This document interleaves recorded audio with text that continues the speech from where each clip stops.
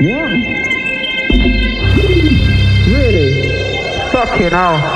Alright, basically, boys and girls, it's hard for me to believe this as well, yeah? So don't don't boo or anything or do anything out of order. But basically, the police are shutting the party down, down, down, down.